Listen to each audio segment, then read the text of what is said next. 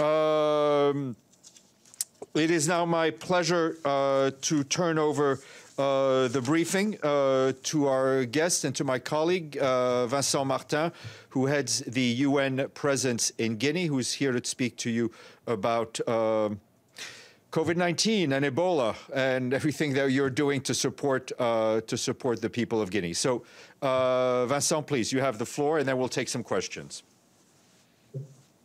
Thank you. Thank you very much, uh, Stéphane, and good morning to everybody. So yes, I, I would like to, uh, to give you a, a, briefing on the situation here in, in Guinea, uh, which is facing two epidemics at the same time, so COVID-19 and Ebola that um, reemerged uh, two weeks ago. In terms of uh, COVID-19, as you know, I mean, it has been uh, it has a major impact on the uh, public health, but also on the economy of uh, many countries, including Guinea. Today, the situation is uh, the following. We have uh, had 16,000 cases, but, but, most of them um, uh, were um, cured and treated, and we just had less than 100 uh, deaths uh, by COVID. But the thing is that with the, uh, the, fatigue of the population, respecting social distancing and so on and so forth, we can see that the number of cases is, is, is rising. You know, it has been on the rise during the last uh, the last week. And at the same time, uh, two weeks ago, uh, we observed the reemergence of Ebola.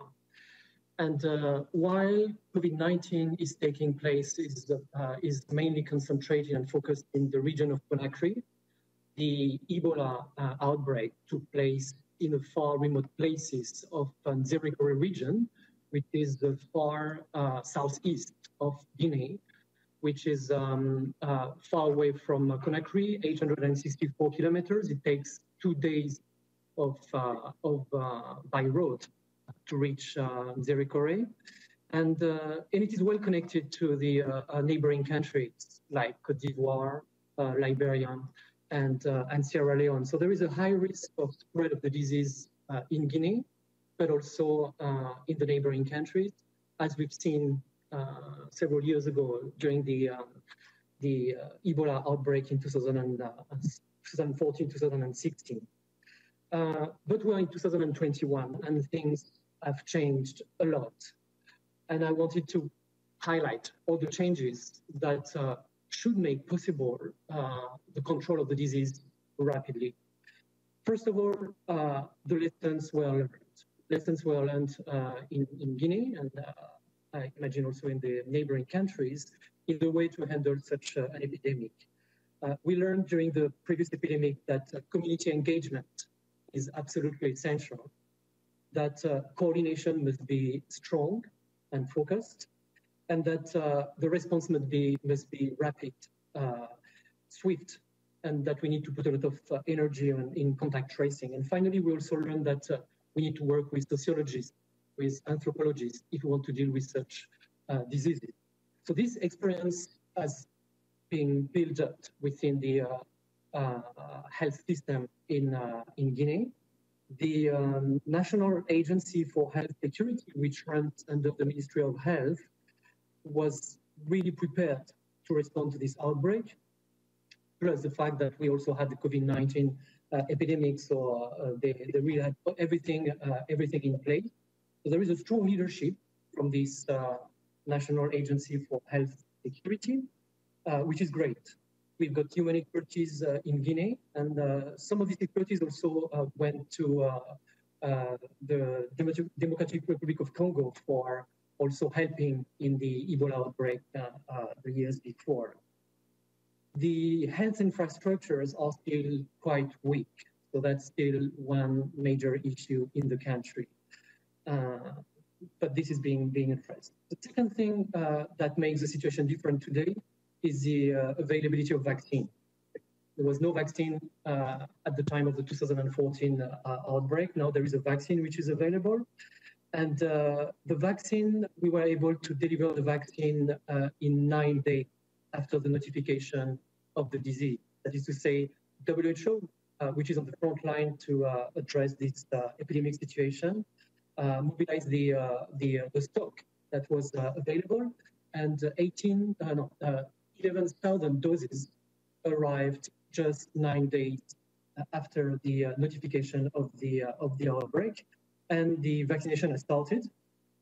And we have 1,544 uh, people who have been vaccinated so far in the epicenter of the disease. third, I wanted to mention also the UN reactivity and flexibility and agility. We were the first one to arrive in the field thanks to the uh, UN uh, flight that were put into place, uh, not for Ebola, I must say, but we had uh, we didn't have the UNHAS flight services established in Guinea, but since last year, um, under the uh, UN coordination, we have decided to reestablish the uh, humanitarian coordination platform, which had disappeared after the first epidemic of Ebola, and we thought that it was important to re-establish this uh, humanitarian coordination platform in case uh, any major event happens. And I think it was a good move to do that. And, uh, and second, we wanted to re-establish the UN uh, flight to be able to reach these places, such as in Zerekore, uh, that need 48 hours to reach them. Uh, and we make them very far away from, from the capital of, of Guinea. so we had planned all that in advance, and uh, we were able to uh, uh, to restart the UN flight on the I think it was on the 14th of February. That is to say, just the day after the official notification, and I went to the field with this UN flight, some um, some government officials, uh, experts with NGOs uh, on Monday, just uh, 24 hours after the notification. We were able to meet the communities, uh, understand, I mean, and get a feel of what was the situation uh, in the field, talk to the authority, to the communities. I went to visit also the uh, treatment and isolation center right away to see what was the condition in this center that uh, actually are treating uh, patients with COVID. And in another section, they are treating patients with Ebola. in in a, in a space which is not, not very, very, uh, very big and that needs to be upgraded. So uh, the UN were, we were very fast in, in responding, being in the field, starting to bring uh, equipment, uh, disinfection uh, material and equipment and all sorts of things that were, that, were, that were readily available for the control of the disease and um, and and then we we also were able to mobilize resources very uh, rapidly through the uh, Central Emergency Response Fund, the CERF. So we mobilized six million dollars for for Guinea, uh, and we are working on the on the full application for uh, uh, for de defining our interventions.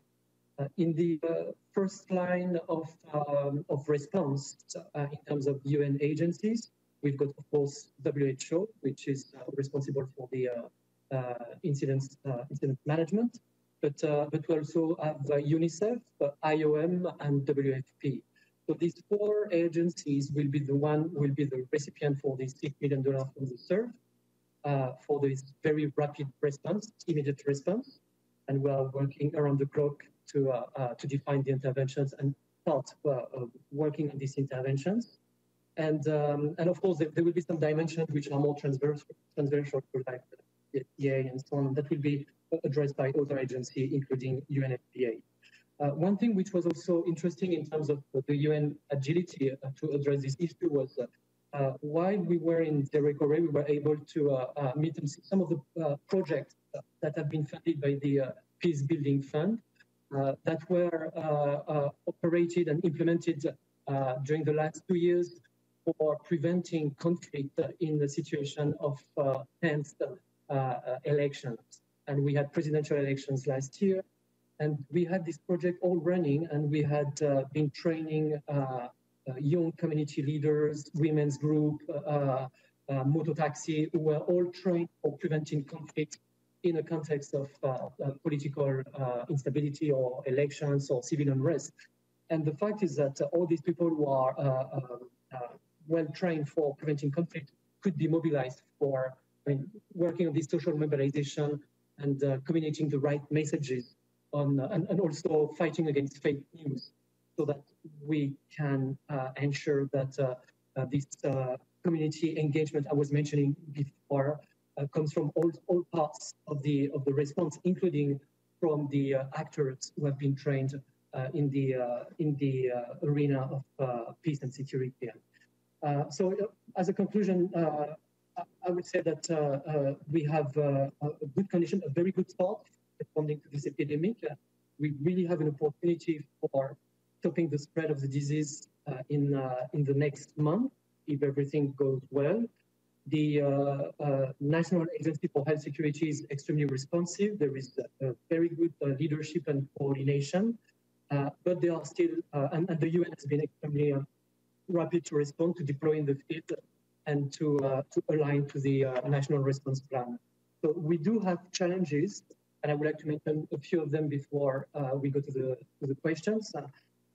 first of all, although yes, we do are going in the right direction, and we believe that there is a chance this can be stopped. Uh, it's important that we uh, scale up all, all the actions and rapidly uh, because there is still, you can feel when you go to the field, and Anna was there, and I was talking to the people in the uh, uh, treatment center, there is still uh, anxiety, there is still uh, resistance, resistance to the, well, understanding really the epidemiological situation. Is this, is this true? I mean, like for COVID, you have got, got all these conspiracy, conspiracy theories. And so there are a lot of tensions and reluctancy Uh, to really engage and fear uh, uh, for, for this disease. So it's very important to uh, uh, strengthen and ramp up this community engagement, work with anthropologists, and making sure that all the right messages come across the population so that people are part of the surveillance system they, when there is a suspicion, they report back to the health authorities, and we don't miss any contacts because uh, uh, contact tracing is absolutely uh, uh, critical. So that's one thing that I've observed when I was in the field and I was talking with our the communities over there. Second thing, which is very important to to keep in mind, is that the vaccine alone is not enough. It's great that we have the vaccine this time. Uh, we are uh, the vaccination uh, campaign is going on. we are, I think we are, we are I mean, the national authorities are doing a very good job uh, in this vaccination with 1,500 uh, or more uh, people have been vaccinated, which is already uh, very good. But surveillance, surveillance is absolutely, absolutely key. And uh, today we just had uh, among the, so we have 17, 17 cases today, 17 cases of Ebola today, just eight deaths today, which have been uh, confirmed. Uh, however, uh, today we just had 10 suspicion. We just had 10 suspicion. And actually, it's important to, to receive more suspicions because having more suspicions means that the surveillance system is working. Uh, so uh, the WHO is working very hard in uh, strengthening the surveillance activity with the health authority so that all the you can identify all the new cases uh, Uh, you can identify all the uh, suspected cases and you don't have uh, any of these cases which are disappearing in the nature. And actually, uh, today, in terms of contact tracing, uh, yesterday we were at 93% in, in terms of following up this the contact, 93%, and today we were just at 83. So it means that that, that fluctuates every day. So the fact that we had a, a, lower rate today doesn't mean that things are not going well, but uh, it means that we need to put a lot of emphasis on uh, tracking tracking the uh, the contacts and the contacts of contacts to make sure we don't miss anybody. The uh, two other things I wanted to mention uh, before uh, closing is the food. Food is very important. Food assistance is very important. Uh, just to consider that uh, food insecurity has been really on the rise during the last year uh, in Guinea.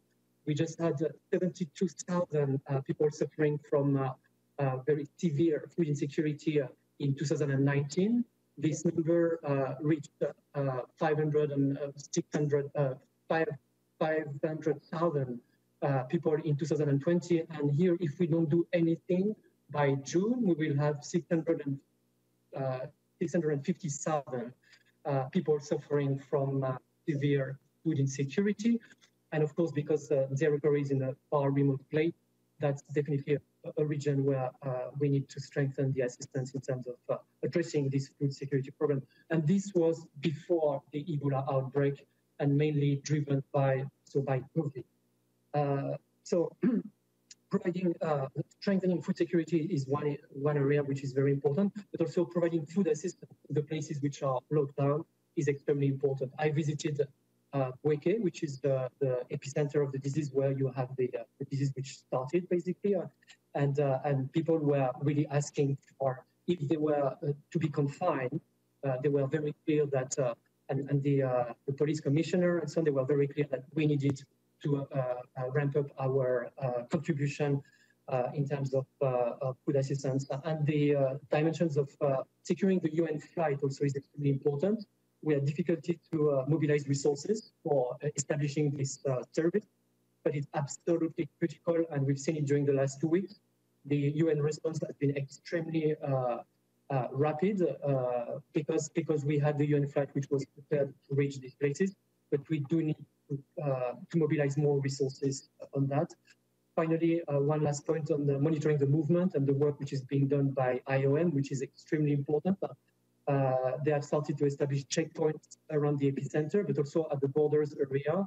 Uh, this also has to be uh, uh strengthened and scaled up, and this will be done mainly through the CERF, but, uh, but some additional resources uh, are needed. overall, the national plan, there is a Ebola response plan of $45 million, and the gap for funding is $22 million.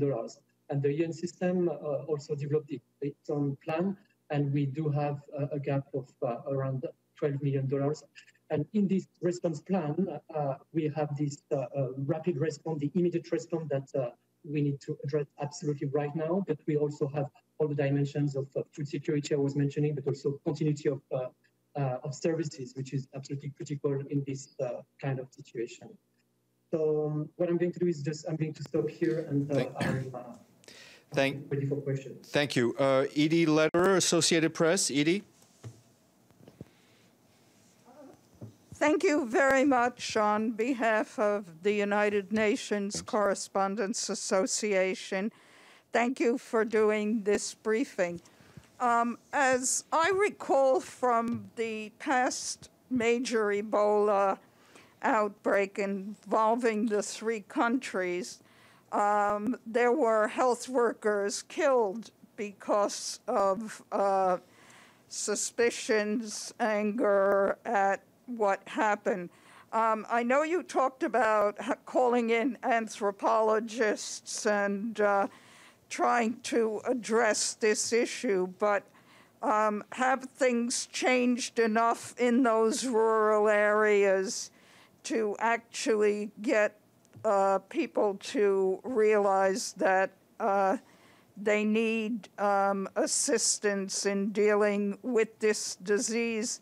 And have there been any reported cases in the neighboring countries? Thank you. Vincent, please go ahead. Okay, thank you very much. Yes, it's, it's a very important question. Uh, things have changed. Things have changed, and also because we had COVID in between and this community engagement has been also at, at the heart of this uh, uh, COVID response. But but uh, when I was there, when I was traveling in, Gouécké, in in Zerikore, I could still feel some tensions, and and you, you, you can see that. Uh, you have to be extremely careful and that uh, we shouldn't repeat the mistakes from uh, the 2014 epidemic, which was also arriving, you know, with force, with uh, sometimes military forces or you know all these people uh, who are dressed in uh, protective equipment, which is very scary for the population. So that's something we've learned. And I was talking to one of uh, my colleague anthropologist who is just coming back from the field uh, yesterday, and he spent few a few days in the epicenter, and he told me that uh, the tension is there. The tension is there. It means that we have to be extremely careful. this could lead to some violence this could lead to violence, definitely. Uh, and that's why uh, this uh, community, community sensitization, the fact that I was mentioning uh, we can mobilize the people who have uh, trained on the uh, conflict prevention through our peace building fund uh, will be, I think, uh, extremely useful for um, avoiding and preventing an escalation in the violence. So, in a nutshell, yes, it is there, but we are putting all the efforts to avoid such a situation to to repeat. in terms of um, neighboring countries, there have been no cases detected in the neighboring countries, but the surveillance has been, of course, strengthened in all the neighboring countries, uh, Mali, uh, Liberia, Sierra Leone, and Cote d'Ivoire. Uh, they have been uh, uh, strengthening the monitoring at the border, and they, they do have a few suspicions, which is also very good because uh, you, it's important to, to detect suspected cases, but there have been no confirmed cases so far. Jazeera? Um, yes. Um, uh, in terms of what you need right now, you talked about the money shortfall. What would be top of your list that you need right now?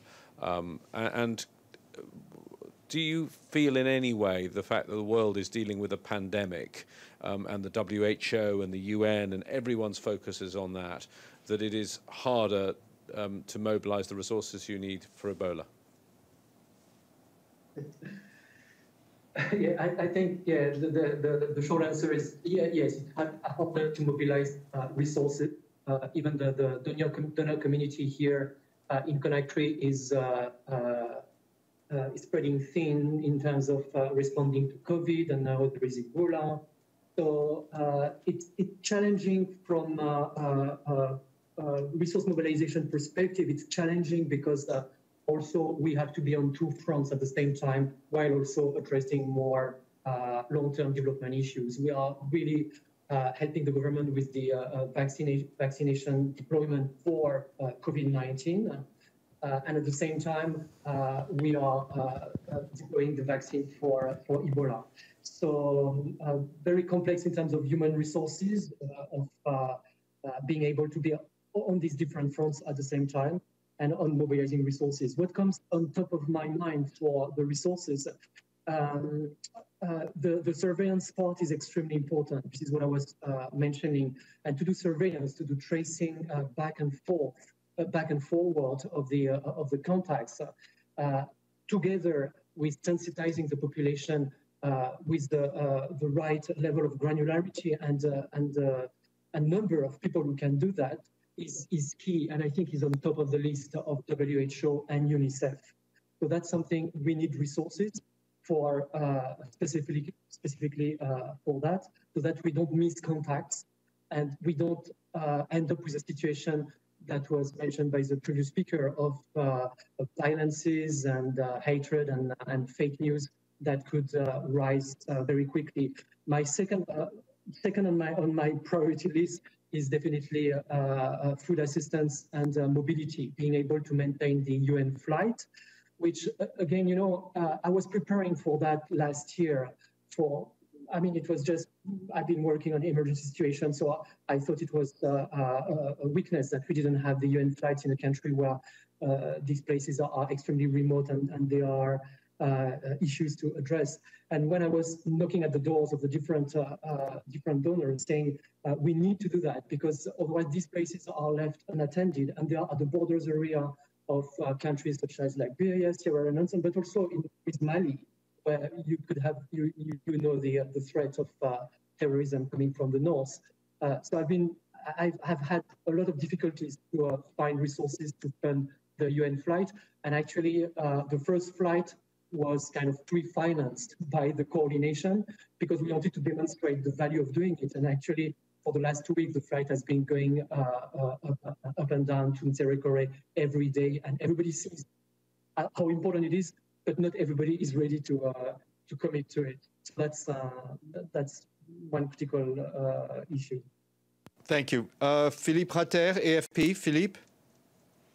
Merci, merci. Je vais vous poser ma question en, français et si vous pouvez répondre en français, je, veux bien aussi.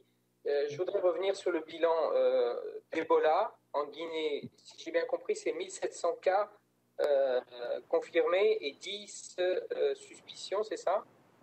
Et... Non, non, non, désolé. Ah bah, si, vous pouvez revenir sur le bilan, si vous pouvez revenir sur le bilan complet sur le, la Guinée, je veux bien. Est-ce qu'il y a eu des morts?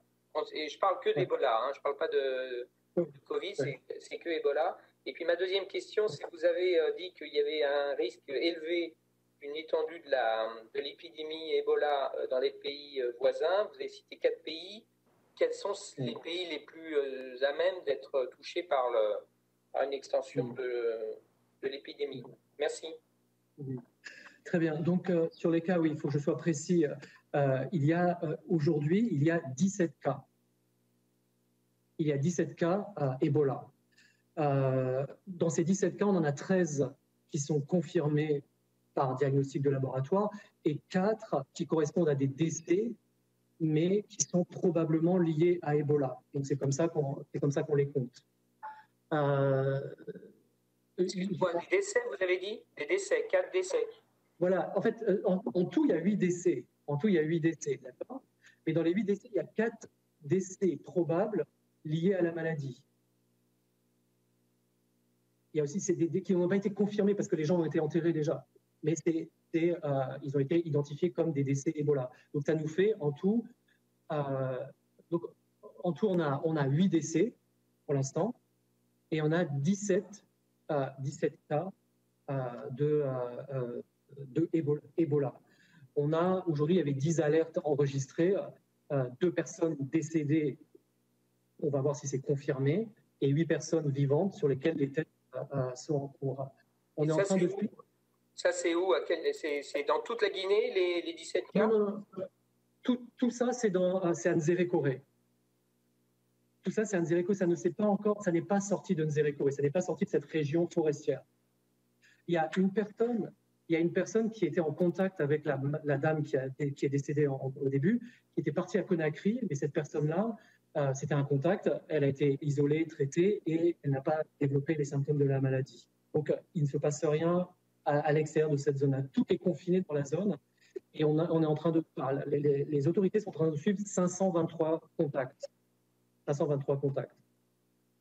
Par contre, ce que je mentionnais, c'est qu'il y a 1544 personnes vaccinées au jour d'hier, à la date d'hier. 1544 personnes vaccinées. Sachant qu'on a, on a reçu euh, donc 11 000 doses de vaccins. Ah, c'est que, Ebola. Donc, 1544 personnes vaccinées pour Ebola. Et ce qui est un bon taux de vaccination, parce que la stratégie de vaccination, c'est de vacciner les gens qui étaient en contact. C'est une vaccination en anneau. Donc, vacciner les gens qui sont en contact.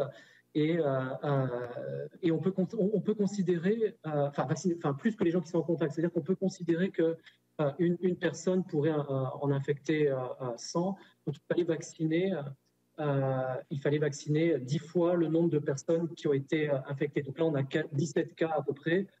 On pourrait dire qu'il pourrait infecter 1700 cas et donc il faut vacciner à peu près cette, quantité de personnes. Or, aujourd'hui, deux semaines après le début de l'épidémie, on a 1500, 1600 personnes qui ont été vaccinées quasiment. Donc voilà la situation. Donc ça a commencé comme ça en 2014, sauf que euh, en laissant les choses évoluer et si on tarde à répondre, après ça se répand au niveau national et au niveau régional. Le, le, le risk assessment que j'ai mentionné, c'est celui qui a été fait par euh, WHO. Ils ont fait un, grading, un, rating de, euh, du risque. Et le risque a été jugé comme élevé de se euh, répandre, de se disséminer au sein de la Guinée, et, ou, très élevé et élevé de se disséminer dans la région, dans les, dans les, dans les pays voisins. Donc ça, c'est l'évaluation du risque faite par WHO, qui était relativement claire.